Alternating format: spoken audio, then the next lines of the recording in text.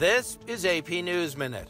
President Joe Biden declared that help is here as he kicked off his big push to highlight the benefits of the $1.9 trillion COVID relief plan.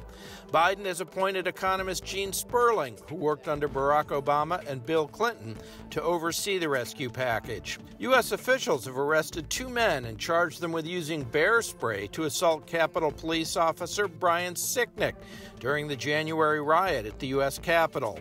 Officials haven't determined the cause of death death, but Sicknick died the next day.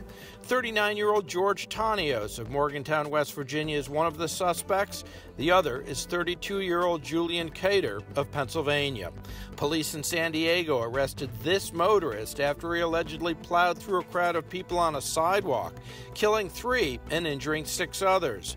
The man has been taken into custody on suspicion of driving while impaired. The National Weather Service says Denver experienced its fourth biggest snowfall in history, with as much as 27 inches in some areas, as residents in Colorado and Wyoming continue to dig out following the storm. Denver's airport remained closed for a second day early Monday. Ned Barker, The Associated Press, with AP News Minute.